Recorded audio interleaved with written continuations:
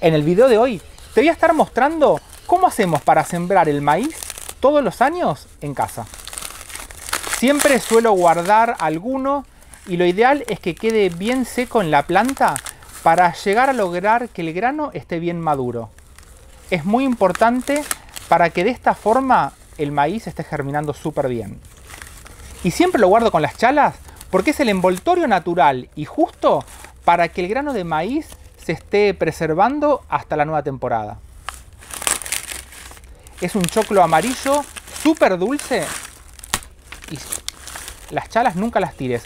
Guardalas porque te pueden estar sirviendo para poner de base en las macetas para tapar las perforaciones, así no se te va el sustrato, y para muchas cosas más que te voy a mostrar más adelante. Y siempre vamos a ver que en la base el grano está deformado, después a nivel central el grano se hace cada vez más uniforme, hasta que llegamos a la punta en donde el grano también se empieza a deformar porque ya va a ser para la etapa tardía de generación de los granos. En las puntas, por lo general, nunca vamos a tener granos, porque ya para esta época, eh, la barba que larga esa barba de choclo, que vendría a ser el estigma, no termina recibiendo los granos de polen y es por eso que nunca vamos a tener granos en la punta.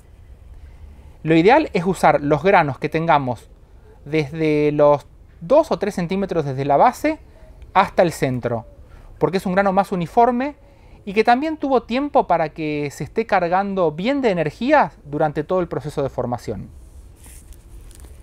Voy a empezar a desgranarlo. Estos son los ideales, porque todos tienen casi la misma forma y están súper bien formados. Voy a empezar a desgranarlos. Y esto es una maravilla. Si bien al grano lo podemos sembrar directamente, te voy a recomendar que lo dejes en remojo en agua de un día para el otro para que de esta forma estemos logrando tener un grano hidratado y que le esté ganando en competencia a todos los competidores que podemos llegar a tener cuando vamos a hacer la siembra. Y ahora traje unas manitos para que me ayuden y que estén poniendo todos estos granitos de maíz en el agua. Hola. Me traje a Prichu porque vamos a hacer toda esta siembra acá en casa. Guardalos todos ahí. Lo ideal es que el agua esté a temperatura ambiente y puede también llegar a estar tibia porque de esta forma va a entrar mucho más rápido en los granos para que se estén hidratando. Y una vez que ya pasó el tiempo, vamos a hacer la siembra, en este caso en macetitas. ¿Y tenemos cuántas, Pri? Ocho. Voy a sacarte los ocho granitos, así los sembrás. El tema de estar haciéndolos directamente en maceta es para poder estar adelantando y evitar las heladas.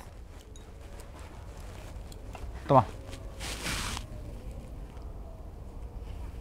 Y la siembra no más de 1 a 2 centímetros, lo dejas de esta forma y ya queda tapado. Y una recomendación que te voy a dar es que cada vez que hagas la siembra en macetita, es dejar los granitos arriba de cada una de las macetitas para que no se te olvide en cuál estuviste poniendo y en cuál te faltó. Una vez que están, directamente ahora a enterrarlos.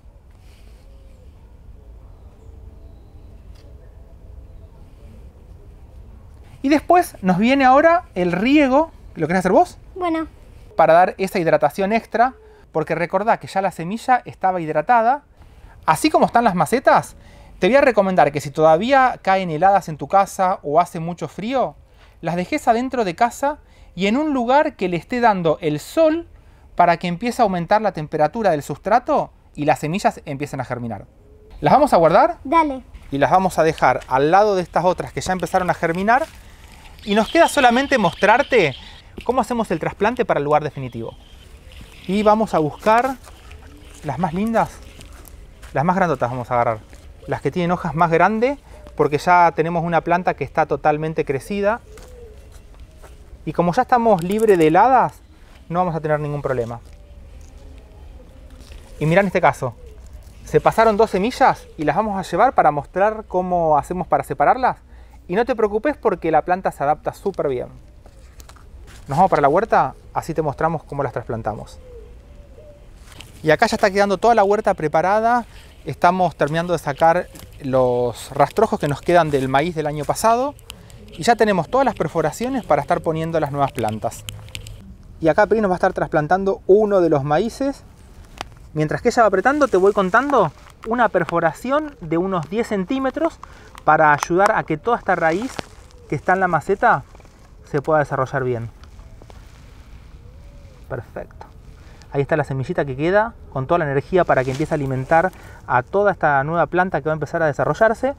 Y nos queda solamente poner toda la tierra alrededor, que como podrás ver yo dejo toda esta capa verde que es el pasto que siempre va a estar presente en la huerta.